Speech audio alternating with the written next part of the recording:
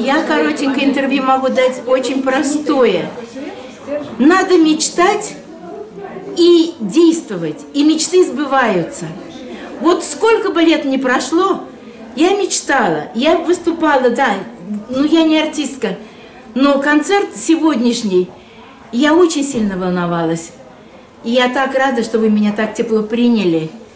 Родной коллектив, родные люди, они всегда так нежно принимают. Я вам всем благодарна очень. Счастлива.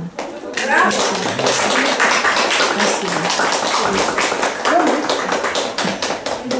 Вот.